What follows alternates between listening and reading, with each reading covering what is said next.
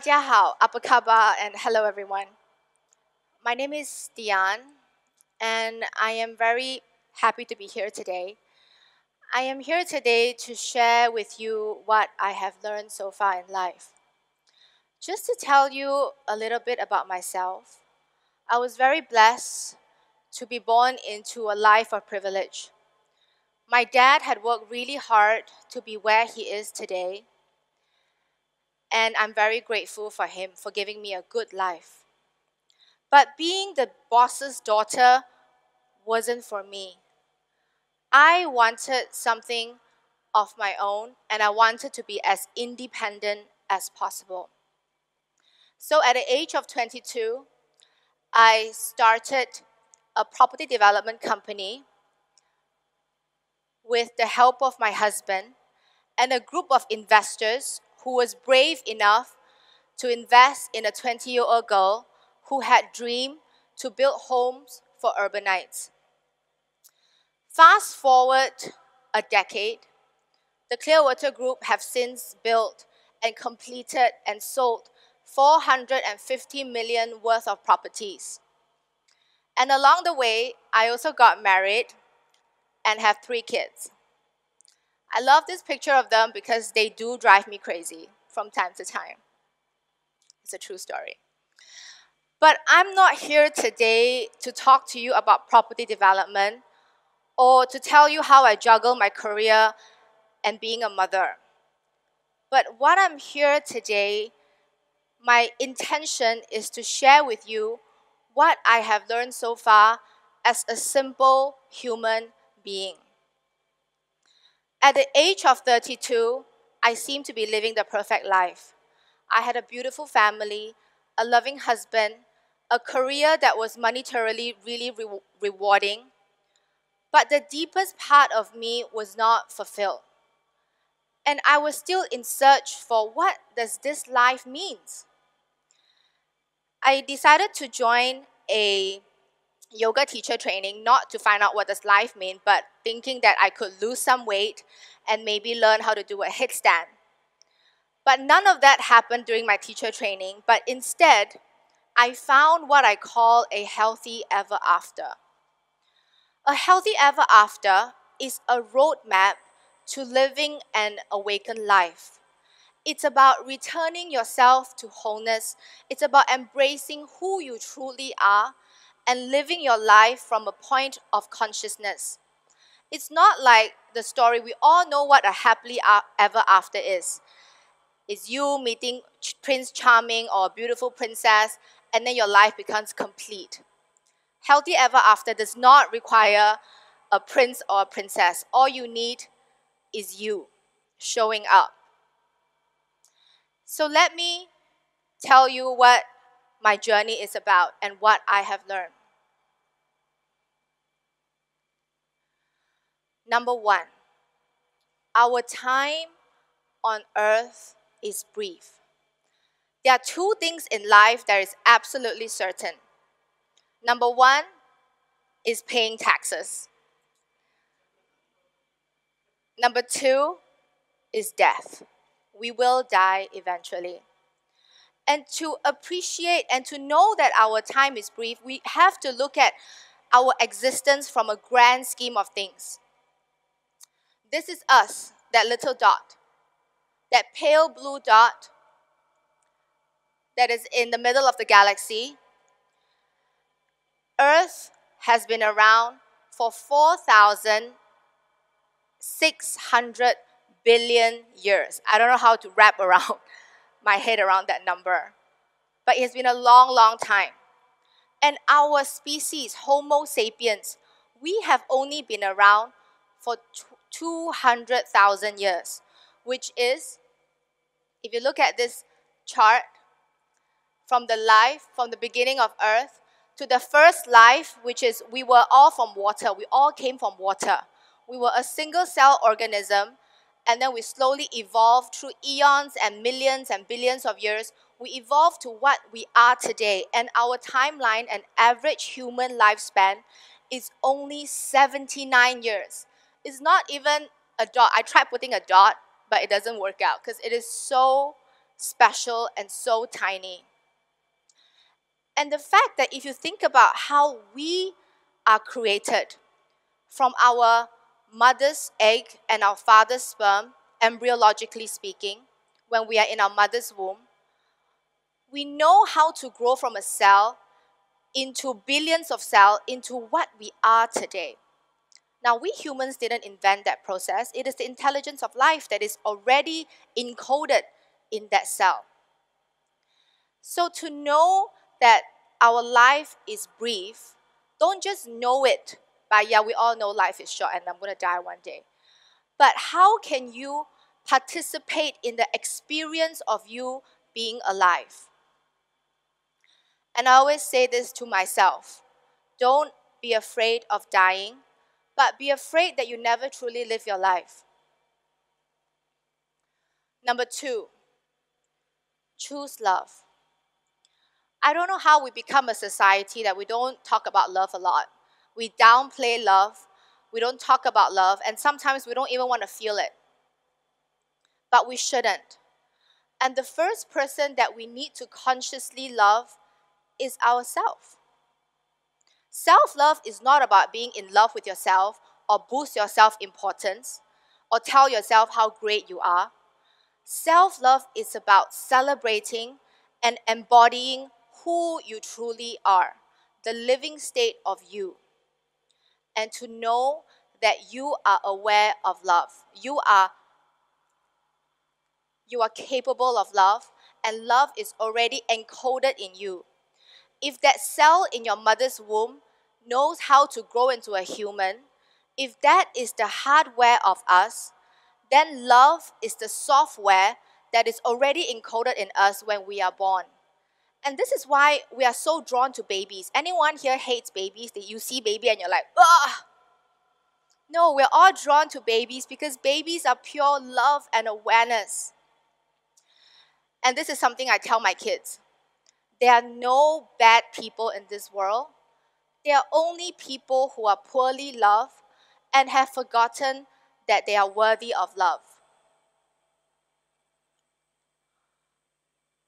Loving yourself is the greatest revolution. Number three, courage. Courage is vulnerability in disguise. What is vulnerability? Vulnerability is you taking risk. When I got this invitation to speak here today, I was really scared because public speaking is one of my biggest fear and being recorded while you are speaking and then being on in the internet it's like the double scare but i decided to come anyway because there is no growth when i don't take risk we all need to take risk.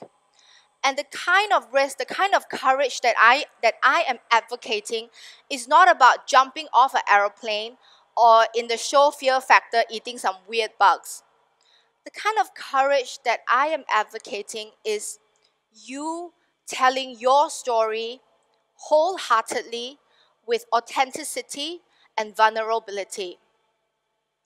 I'm going to share with you a very intimate story. When I was 12 years old, I was sexually assaulted. And when I told my mom this, she didn't believe me. And the 12 year old me was so devastated and hurt that I tried to kill myself.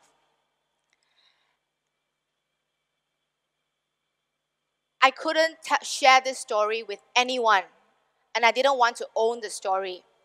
It was only 20 years later when I was in my yoga teacher training which was like being in therapy the whole time, that I had the courage to bring this story to light, that I was able to share it with a very intimate group of people.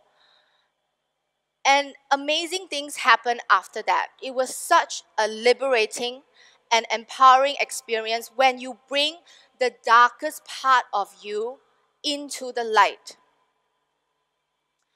So I encourage you to dive deep, deep and courageously look at yourself. Because only when you bring the darkest part of you online that you can be unlimited.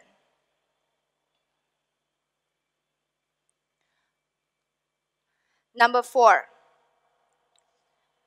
embrace uncertainty. Uncertainty is where fear lives. We are all afraid of what we don't know because it is so uncomfortable and so confronting. But when you learn to be comfortable in an uncomfortable situation, to trust that anything that happens in your life happens for a purpose, when you embrace uncertainty, you will have the superpower to be okay with anything that happens in your life. There is nothing because to learn to embrace uncertainty, there are two things that you need to know. Number one is you need to be able to unlearn everything you know. Number two is to know that life is unpredictable. So if you know that life is unpredictable, then trying to control what is going to happen in your life will just bring you pain and suffering. When you embrace uncertainty, you also learn how to trust. So I encourage you to trust the process of becoming. Because when you embrace, when you embrace, truly embrace uncertainty, when nothing is certain, anything in life can be a possibility. Number five, access your here-ness. Assessing your here-ness, it's about how can you bring yourself to the present moment. I wanted to research some scientific study about how you can, what, what are the benefits of living in the moment. So some of them include your workouts become easier, your food tastes better, and you might even eat less. And number three, you may have better sex. Now, who doesn't want that, right? so, accessing your here-ness is about being in the present. When we live in the past, when we're always thinking about what happened before, that's when we have resentment, we have guilt, we have regrets, and if we live in the future, that's where fear and anxiety lives. So by choosing to live in the present moment, by accessing our present moment, that is when we find lightness and joy. I want to do a quick practice with everyone here. So stay with me, take a comfortable seat, put both your feet on the floor, and use your fingers and start tapping from the inside of your collarbones and tap towards outside. And then as you are tapping, close your eyes and whisper gently to yourself, I'm here. I am here. You need to close your eyes to do this. It might seem really strange in the beginning, but I promise you that you will reach a point while tapping that you will feel that all of you is here. All particles of you will arrive in your seat. I am here. I am here. So familiarize yourself with this feeling. This is the feeling of being present. Also, you don't have to be tapping during sex once you familiarize yourself with this feeling. In your living presence is also where you're, you are most creative. You can stop tapping now. You can try this at home. I recommend lots of practice. The more you practice, the more you know how to guide yourself back to the present moment because the goal is not to stay in the present moment forever, but the goal is to consciously, aware, with a lot of awareness, to bring yourself back to the present moment. Number six, becoming the master of your mind. You can either be a master of your mind or a slave of it. We can consciously choose the thoughts that go through our head. the thoughts that go through our head are not truly us because we can pick and choose. Like the exercise that we did just now. When I asked you to tap, you, you were not thinking about anything else. But I am here, I am here, I am here. So that proves that you can guide where your attention go. Now, how do you do this? A very powerful way to learn to how to be the master of your mind is learn how to meditate.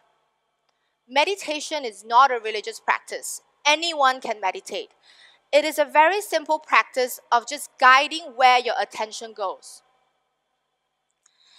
Let's do a very quick exercise again. Take a comfortable seat. Place your feet both on the ground. Close your eyes. And allow yourself to feel the point of contact where your feet meets the earth. Where your feet, whether or not you're wearing shoes, high heels, just feel where your feet meets earth.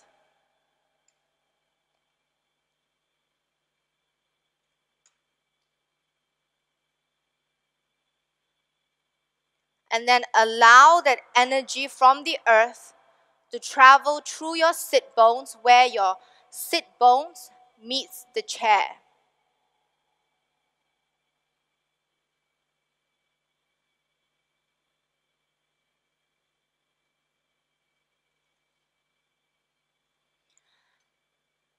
And then from where you meet the chair, allow the energy to travel up to your spine all the way to the top of your crown.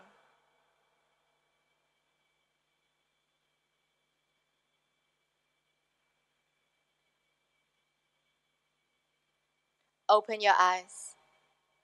Can we agree that we can direct where our attention go? Your mind is your instrument. Learn to be its master and not its slave. So that is the end of my presentation. Healthy Ever After is about living a life of awareness, being awake. The opposite of that would be being asleep, like a factory, like a product of a factory, just going through the motion to get the product done. Your life is not about getting a job, get married, have kids, pay bills, and die. Your, you have a higher purpose in this life to appreciate your aliveness, to enjoy life, to be loved, and to love, to live courageously, and to be the master of your own life. When you find your healthy ever after, you will unlock your unlimited potential. Don't chase money, love, or success. Find your healthy ever after, and those things will chase you. From the bottom of my heart, thank you.